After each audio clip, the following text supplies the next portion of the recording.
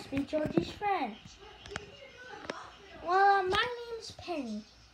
Uh, Penny. He or they already know that. Oh.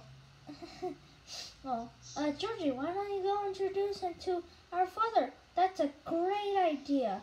Come on, let's go.